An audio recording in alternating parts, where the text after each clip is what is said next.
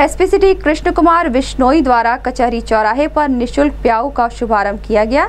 SP city Krishna Kumar Bishnoi ने बताया कि गर्मी के मौसम में किसी भी राहगीर को जल पिलाना पुण्य का काम होता है।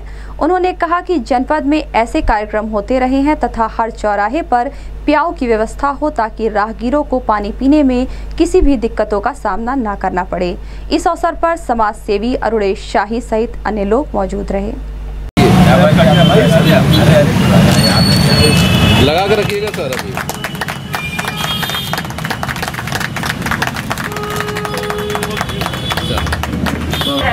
अपने वाहन को सिग्नल के माध्यम से ही चलाएँ। पुनः कृपया ध्यान दें अपने वाहन लिए को बड़ा सिग्नल के हर्ष का माध्यम विषय से है चलाएँ। कि आपका सानिध्य यदि आपके द्वारा अपने वाहन को गर्मी के अंदर किसी भी राहगीर को जल पिलाना की परंपरा के अनुसार साथ में पिलाना ये वही व्यक्ति सोच सकता है जिसके मन में दूसरे की रक्षा करने की होती है और एक नई आशा एक ऐसा संगठन है जिसमें पुलिस कार्य मैं पिछले महीने भर में मात्र पूरे जगहों पर इस तरह का पुलिस कार्य करते हुए उनको देखूँ।